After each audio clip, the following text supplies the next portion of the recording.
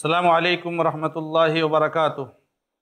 الحمد للہ رب العالمین واشهد اللہ الہ الا اللہ وحدہ لا شریک لہ واشهد ان محمدا عبدہ ورسولہ صلی اللہ تعالی علیہ وآلہ وسلم۔ محترم اور معزز ناظرین و سامعین کرام، زبان کی آفتیں اس مبارک سلسلے کی اس نشست میں آپ کا استقبال ہے۔ آپ کے سامنے زبان کی آفتوں کے تذکرہ کا سلسلہ چل رہا ہے۔ اور اس وقت آپ کے سامنے جو تیسری آفت ذکر کی گئی تھی زبان کی، اور وہ ہے جھوٹ۔ جھوٹ کے بارے میں کچھ تفصیلات آپ کے سامنے پیش کی جا رہی ہیں۔ سب سے پہلے جھوٹ کی تعریف آپ کے سامنے کی گئی۔ اور اس کے بعد جھوٹ کی شکلیں آپ کے سامنے بیان کی جا رہی ہیں۔ جھوٹ کی جو شکلیں آپ کے سامنے اب تک بیان کی گئی ہیں، وہ ٹوٹل دس ہیں۔ کچھ شکلیں اور جھوٹ کی رہ گئی ہیں جس کو ہم یہاں پر ذکر کرنا چاہتے ہیں اس نشست میں۔ چنانچہ گیارہویں شکل جھوٹ کی ہے، مذاق میں جھوٹ بولنا۔ یہ ہمارے بیچ میں بہت چلتا ہے۔ ہمارے نوجوان بچے اور ہماری بہت ساری مسلمان مائیں اور بہنیں آپس میں گفتگو جب کرتے ہیں تو مذاق میں جھوٹ بولتے ہیں۔ کوئی ایسا واقعہ بیان کرتا ہے، میں نے ایسا کیا، میں نے ویسا کیا، جو اس نے نہیں کیا ہے۔ تو مذاق میں جھوٹ بولتے ہیں یا کسی سے مذاق کرتے ہیں تو جھوٹ بولتے ہیں۔ مذاق میں جھوٹ بولنا بھی میرے بھائیوں، نوجوان دوستوں اور ماں اور بہنوں، یہ بھی جھوٹ ہے۔ چنانچہ اللہ کے نبی صلی اللہ علیہ وسلم نے روایت میں بیان فرمایا، جسے ہم بخاری رحمہ اللہ نے ادب المفرد میں ذکر فرمایا البانی رحمہ اللہ نے اس کو صحیح قرار دیا ہے۔ عبداللہ ابن عمر رضی اللہ تعالیٰ عنہ راوی ہیں کہ نبی علیہ السلام نے فرمایا، لا يصلح الكذب في جد ولا حزن۔ اے لوگوں یاد رکھو، جھوٹ نہ تو مذاق میں درست ہے اور نہ تو سنجیدگی میں درست ہے۔ پتہ یہ چلا کہ مذاق میں بھی ہم نہیں جھوٹ بول سکتے۔ مذاق میں بھی ہم ایسی بات نہیں کر سکتے ہیں جو حقیقت کے خلاف۔ مذاق میں بھی ایسی بات نہیں کہہ سکتے جو واقعیت کے خلاف۔ تو مذاق میں جھوٹ بولنا یہ چیز درست نہیں ہے۔ اللہ کے نبی علیہ السلام کی ایک حدیث میں یہاں تک بیان فرمایا گیا کہ اگر آپ مذاق میں بھی جھوٹ کو نہیں چھوڑتے تو آپ کا ایمان مکمل نہیں ہو سکتا۔ یعنی مذاق میں بھی جب تک آپ جھوٹ کو نہیں چھوڑ دیں گے اور مذاق میں بھی آپ جب تک سچائی کو لازم نہیں پکڑیں گے تب تک آپ کا ایمان مکمل نہیں ہو سکتا ہے۔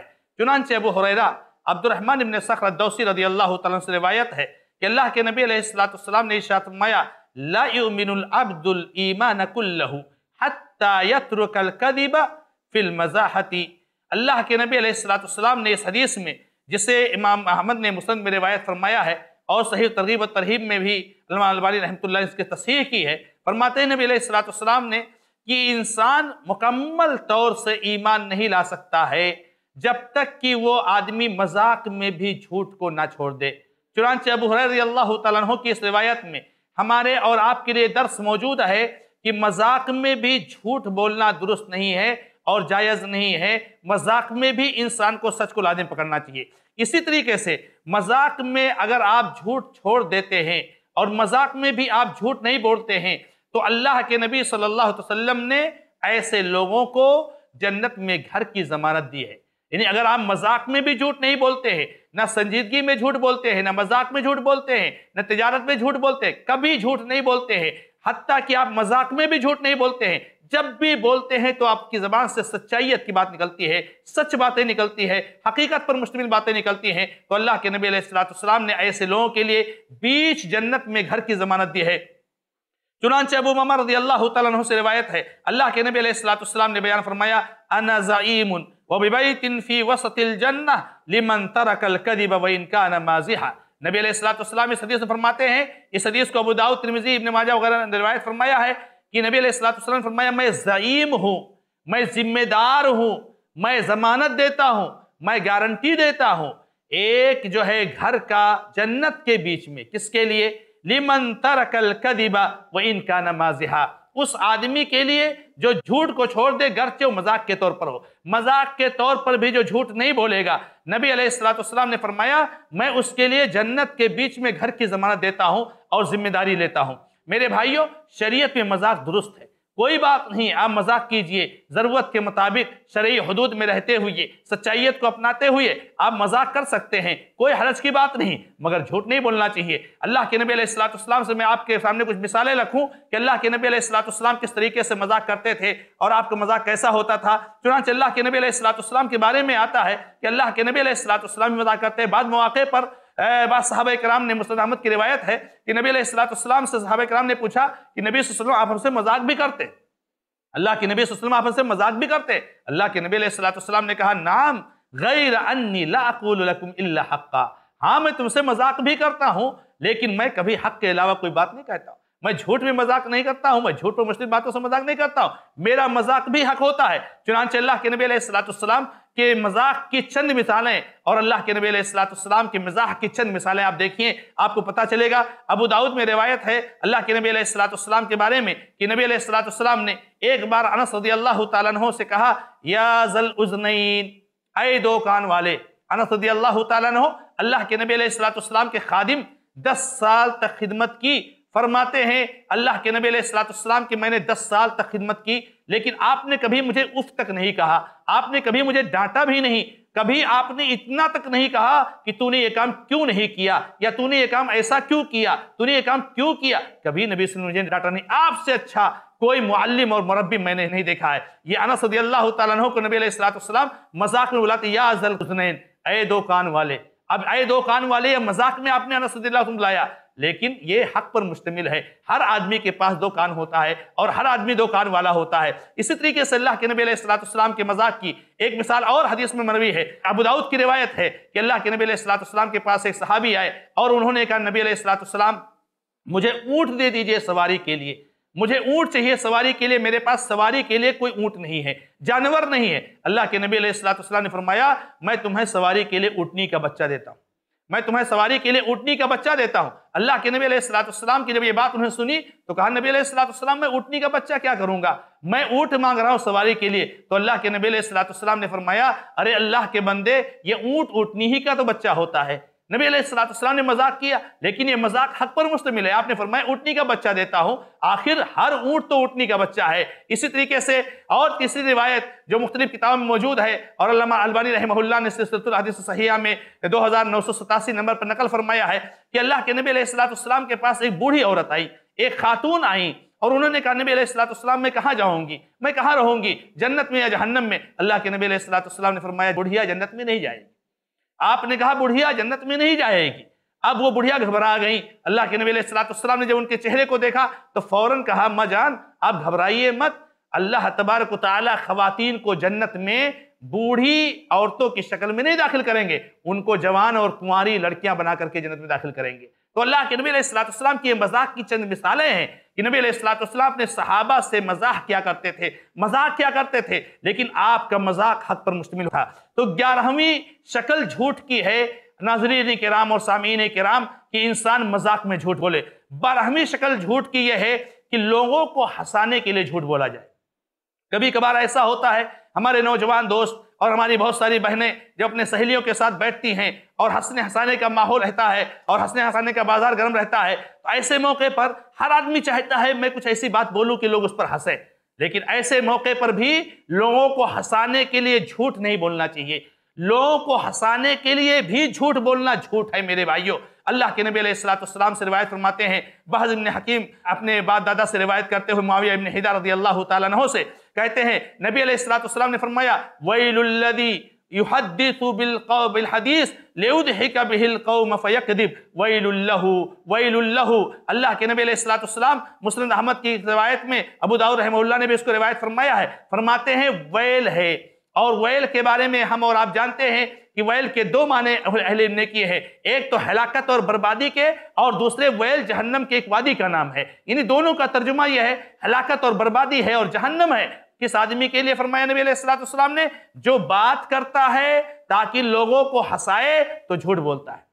نبی علیہ السلام نے فرمایا، اس کے لیے ویل ہے، اس کے لیے ویل ہے، اس کے لیے ویل ہے۔ جو بات کرتا ہے اور لوگوں کو ہسانے کے لیے جھوٹ بولتا ہے، تو مذاق میں ہسانے کے لیے بھی جھوٹ بولنا سامعین کرام، ناظرین کرام، یہ جو ہے جھوٹ ہے اور جھوٹ کی ایک شکل ہے۔ اور تیرہویں شکل ہے جھوٹ کی کہ آدمی ازراہ تکلف جھوٹ بولے۔ تکلف کی بنیاد پر جھوٹ بولے، یہ بھی جو ہے، کیا نام ہے، ایک شکل ہے جھوٹ بولنے کی۔ بہت سارے موقع پر ایسا ہوتا ہے، کوئی آدمی آپ کے گھر پر تشریف لائے ہوئے ہے آپ ان کو کھانا کے لیے کہتے ہیں، وہ کھانا نہیں کھائے ہوئے ہیں، بھوک بھی لگی ہوئی ہے، ان کو کھانے کی ضرورت ہے، آپ کہتے ہیں، لیکن کہتے نہیں، میں کھا چکا ہوں۔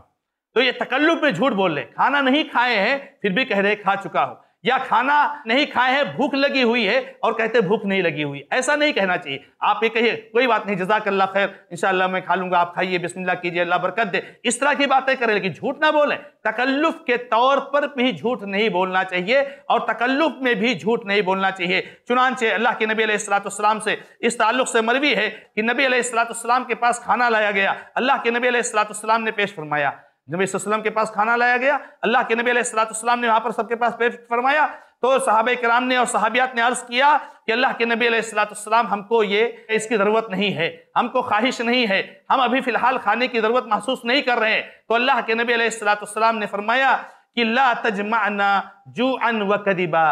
اے دیکھو، یاد رکھو، جھوٹ اور بھوک کو ایک ساتھ جمع نہ کرو۔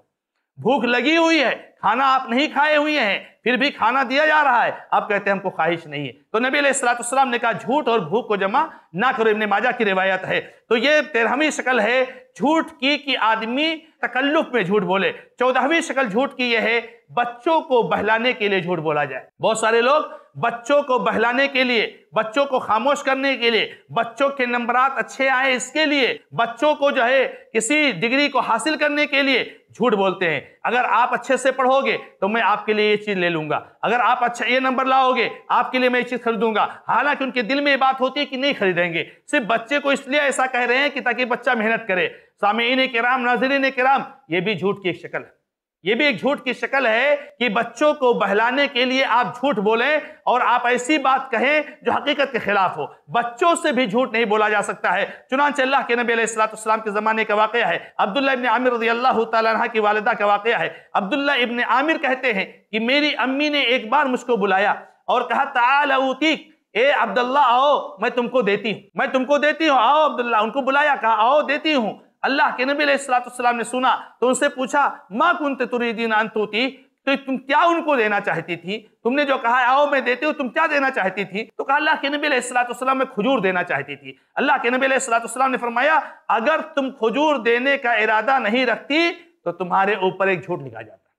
اگر تم کھجور دینے کا ارادہ نہیں رکھتی تو تمہارے اوپر جھوٹ لکھا جاتا یہ ابو داؤد کی روایت ہے۔ اور اسی طریقے سے اللہ کے نبی علیہ السلام کے صحابی عبداللہ مسعود رضی اللہ تو کہتے ہیں، کوئی آدمی کسی بچے سے کوئی وعدہ کرے اور پھر اس کو پورا نہ کرے۔ یہ بھی جھوٹ میں شامل ہے۔ تو جھوٹ میں یہ بھی شامل ہے کہ آدمی بچوں کو بہلانے کے لیے اور بچوں کو خوش کرانے کے لیے اور بچوں سے کوئی کام کرانے کے لیے آدمی جھوٹ بولے۔ یہ بھی جھوٹ کی ایک شکل ہے۔ جھوٹ کی شکلوں میں سے پندرہویں شکل یہ ہے کہ آدمی وعدہ کر کے وعدہ پورا نہ کرے۔ جب کوئی آدمی وعدہ کرتا ہے تو گویا کہ کسی آدمی سے اس بات کا اقرار کرتا ہے، عہد کرتا ہے، اعتراف کرتا ہے کہ میں یہ کام کروں گا۔ اور جب وہ نہیں کرتا ہے تو گویا کہ وہ اس میں جھوٹا ثابت ہوا۔ تو وعدہ پورا نہ کرنا یہ بھی جھوٹ کی شکل میں سے ایک شکل ہے۔ اسی لیے علامہ سندھی رحمہ اللہ عبداللہ ابن عامر کی جو حدیث میں نے پچھلے جو ہے جھوٹ کی شکل میں بیان کیا، چودہویں شکل میں اس میں جو حدیث عبداللہ ابن عامر کا واقعہ پیش کیا گیا، ان کی ماں کے تعلق سے اس حدیث کے تحت لکھتے ہیں، یہ حدیث اس بات پر بھی دلالت کنا ہے کہ جو شخص وعدہ پورا نہ کرے وہ جھوٹا ہے۔ تو وعدہ پورا نہ کرنا یہ بھی جھوٹ کی شکلوں میں سے ایک شکل ہے۔ جھوٹ کی شکلوں میں سے سولہویں شکل ہے کہ ہر سنی سنائی بات کو بیان کر دینا اور افواہیں پھیلانا۔ بہت خطرناک شکل ہے۔ اور بہت اہم مسئلہ ہے، اس کو ہمارے مسلمان بھائیوں کو، ناظرین کرام اور سامعین کرام، اس کو اچھے سمجھنا چاہیے کہ ہر سنی سنائی بات کو آگے بڑھا دینا، ہر سنی سنائی بات کو پھیلانا اور ہر سنی سنائی بات کو لوگوں کے بیچ میں رواج دینا اور پھیلانا، یہ بھی جھوٹ کی ایک شکل ہے، افواہیں پھیلانا۔ یہ بھی جھوٹ کی ایک شکل ہے۔ اللہ کے نبی صلی اللہ علیہ وسلم نے شاعت فرمایا، امام مسلم رحمہ اللہ کی روایت کردہ حدیث، جسے امام مسلم رحمۃ اللہ علیہ نے مقدمہ میں روایت فرمایا ہے کہ کفا بالمرء کذبا ایحدث بکل ما سمع۔ مسلمان جھوٹا ہونے کے لیے یہی کافی ہے کہ جو کچھ بھی سنے اس کو بیان کر دے۔ ہم کو اور آپ کو کیا تعلیم ہے؟ اللہ تبارک و تعالی نے ہم کو کیا درس دیا ہے؟ یا ایھا الذین آمنوا ان جاءکم فاسق بنبأ فتبینوا۔ ان تصیبوا قوم بجہالۃ فَتُصْبِحُ عَلَى مَا فَعَلْتُمْ نَادِمِينَ. اے مومنو، جب تمہارے پاس کوئی خبر آئے تو تم اس کی تحقیق کرو۔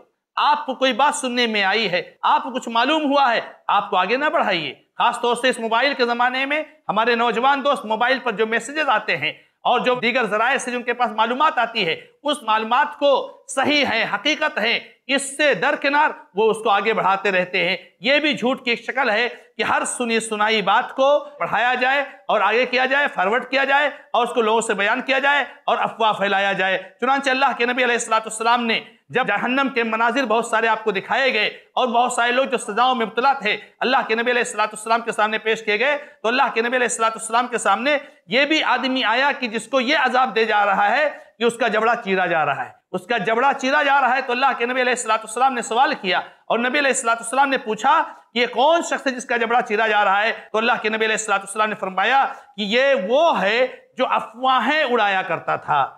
جو افواہیں اڑایا کرتا تھا۔ کوئی بات آئی، اس کو آگے بڑھا دیا اور لوگوں کے بیچ میں اس طریقے سے افواہ پھیل جاتی تھی اور بہت سارے فتنے اور فساد جنم لیتے تھے۔ امام بخاری رحم اللہ کی یہ حدیث ہے۔ تو کہنے کا مطلب افواہیں پھیلانا، افواہیں اڑانا، یہ جو ہے جھوٹ کی ایک شکل ہے۔ اور ہر سنی سنائی بات کو بیان کرنا جھوٹ کی شکل ہے۔ جھوٹ کی سترہویں شکل وہ یہ ہے کہ آدمی نا انصافی کرے۔ نا انصافی کرنا بھی ایک جھوٹ کی شکل ہے۔ نا انصافی کیا ہے میرے بھائیوں آپ کے سامنے کوئی معاملہ آیا آپ کے سامنے کوئی تنازع آیا دو مسلمان بھائیوں میں یا دو انسانوں میں یا ایک مسلمان ایک غیر مسلم میں لڑائی ہو گئی کسی بات پر، کسی سامان کے تعلق سے، یہ میرا ہے، وہ کہتا میرا ہے، وہ تنازع آپ کے سامنے آیا۔ آپ کی ذمہ داری کیا بنتی ہے میرے بھائی؟ آپ کی ذمہ داری یہ بنتی ہے میرے بھائی کہ جب یہ تنازع آپ کے پاس آیا تو آپ کی ذمہ داری بنتی ہے کہ آپ انصاف کے ساتھ فیصلہ کر دو۔ یہ نہ دیکھو کہ یہ مسلمان ہے یہ غیر مسلم ہے۔ یہ نہ دیکھو یہ آپ کا قریبی رشتہ دار ہے اور آپ سے اس کے کوئی تعلقات نہیں ہے۔ یہ نہ دیکھو یہ آپ کی مخالفت کرنے والا ہے، دشمن ہے اور یہ آپ کا دوست نہیں۔ جب آپ کے سامنے کوئی معاملہ آیا تو آپ فوری طور سے انصاف کے ساتھ فیصلہ کر دو، یہ آپ کی ذمہ داری بنتی ہے۔ اگر نہ انصافی کرتے ہو، یہ بھی جھوٹ کی شکل ہے۔ کیوں نہ انصافی جھوٹ کی شکل ہے؟ کہ گویا کہ یہ جو معاملہ آیا تنازع آیا تو آپ کے ذہن میں تو یہ بات آئی کہ فیصلہ اس کے حق میں ہونا چاہیے۔ لیکن آپ نے جھوٹ بول کر کے فیصلہ اس کے حق میں دے دیا۔ یہ نا انصافی بھی جھوٹ کی شکل ہے۔ اللہ تعالیٰ نے قرآن کریم میں ارشاد فرمایا، وَإِذَا قُلْتُمْ فَعْدِلُوا وَلَوْ كَانَ ذَا قُرْبَا اے لوگو، جب تم کوئی بات کہو تو انصاف کی بات کہو۔ اگرچہ قریبی رشتہ دار ہی کیوں نہ ہوں نا انصافی بھی جھوٹ کی قسم ہے، اس لیے کہ انسان جھوٹ بولتا ہے۔ اٹھرہویں اور آخری قسم جو ہے جھوٹ کی جو شکلوں میں سے جو شکل ہے، وہ یہ ہے کہ عام جھوٹ یعنی عام بول چال میں آپ جھوٹ بولیں، عام بول چال میں آپ جو ہے حقیقت کے خلاف باتیں بولیں اور جو ہے کیا نام ہے، آپ سے کسی نے کچھ پوچھا، آپ نے جھوٹ بولے، آپ نے جو ہے کیا نام ہے کام کیا، نہیں کیا یا کیا تو نہیں کیا، یہ اس پہ جھوٹ بولے۔ عام بول چال میں بھی جھوٹ نہیں بولنا چاہیے۔ اللہ تعالیٰ نے فرمایا وَاشْتَنِبُوا قَوْلَ الزُّورِ۔ اے لوگو جھوٹی باتوں سے بچو۔ جھوٹی باتوں سے بچو۔ اور اس سے پہلے جو بات گزر چکی، جو حدیث گزر چکی ہے کہ اللہ کے نبی علیہ السلام نے فرمایا، سچائی کو لازم پکڑو، کیونکہ سچائی نیکی کی طرف لے جاتی ہے اور نیکی جنت کی طرف لے جاتی ہے۔ اور جھوٹ سے بچو، کیونکہ جھوٹ برائیوں کی طرف لے جاتی ہے اور برائیاں جہنم کی طرف لے جاتی ہیں۔ تو عام بول چال میں ایک مسلمان کو سچائی کو لازم پکڑنا چاہیے اور جھوٹ سے بچنا چاہیے۔ اللہ کے نبی علیہ السلام نے فرمایا آدمی برابر جھوٹ بولتا رہتا ہے، جھوٹ بولتا رہتا ہے، جھوٹ بولتا رہتا ہے۔ یہاں تک کہ اللہ تعالیٰ کے یہاں جھوٹا لکھ دیا جاتا ہے۔ اللہ تعالیٰ کے یہاں قذاب لکھ دیا جاتا ہے۔ اللہ تبارک و تعالیٰ کے یہاں قذاب اس کو لکھ دیا جاتا ہے۔ اور جب انسان سچ بولتا ہے، سچائی کو تلاشتا ہے، تو انسان اللہ تبارک و تعالیٰ کے یہاں سچا لکھ دیا جاتا ہے اور صادق لکھ دیا جاتا ہے۔ اور اس طریقے سے جو ہے، کیا نام ہے، وہ سچائی کو لازم پکڑتا ہے۔ تو یہ اس طریقے سے جھوٹ کی شکلیں ہو گئیں۔ جھوٹ کی کتنی شکلیں ہیں؟ اٹھارہ شکلیں آپ کے پاس بیان کی گئیں۔ اب چند منٹ میں آپ کے سامنے میں یہ بیان کرنا چاہوں گا کہ آدمی کے لیے کچھ ایسے مواقع ہیں کہ جن میں شریعت اسلامیہ نے اس کو جھوٹ بولنے کی رخصت دی ہے۔ مختصر طور سے ان کو میں آپ کے سامنے وعدہ کر دوں۔ ان میں سے جو ہے، چونکہ میرا موضوع نہیں ہے مختصر طور سے کہ ان میں سے اگر آپ کسی دو آدمی کے بیچ میں اصلاح کراتے ہیں، دو آدمیوں کے بیچ میں لڑائی ہے نہ چاکی اختلاف ہے، دشمنی ہے اگر دونوں کو ملانے کے لیے آپ کچھ جھوٹی باتیں بولتے ہیں، مان لیجیے زید اور بکر کے بیچ میں لڑائی ہے، تو آپ جائیے زید کے پاس اور کہیے کہ بکر آپ کی بہت تعریف کر رہا تھا، بکر آپ کے بارے میں بہت متاثر ہے اور آپ کے بارے میں بہت اچھی رائے رکھتا ہے، ایسے زید کے پاس بھی جائیے اور ایسی باتیں ان کو بتائیے جو اس نے نہیں کہی ہے، لیکن اچھی باتیں بتائیے جن سے ان کے بیچ میں دشمنی ختم ہو جائے، نفرت ختم ہو جائے۔ تو اللہ کے نبی علیہ السلام نے بیان فرمایا لیس الکذاب الذي يصلح بین الناس، کذاب وہ نہیں ہے جو لوگوں کے بیچ میں اصلاح کرائے۔ فیقول خیر خیرا۔ خیرہ تو وہ کچھ بھلی بات کہے یا کچھ بھلی بات منسوب کرے، یہ جھوٹا نہیں کہا جائے گا۔ اسی طریقے سے کوئی آدمی اپنی بیوی سے کچھ ایسی باتیں کہتا ہے محبت کو بڑھانے کے لیے، محبت کو قائم کرنے کے لیے اور محبت کو مضبوط بنانے کے لیے، تو شریعت اسلامیہ نے اس کی بھی جو اجازت دی ہے اور سنن وغیرہ ہی کی روایت ہے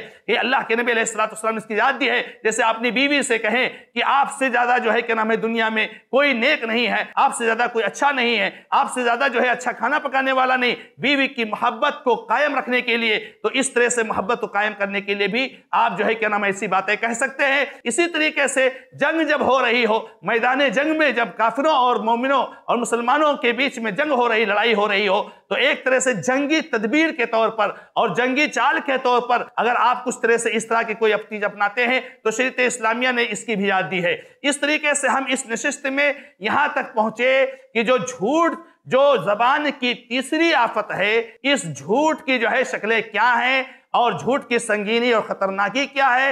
اور یہ ساری چیزیں آپ کے سامنے بیان کی گئی۔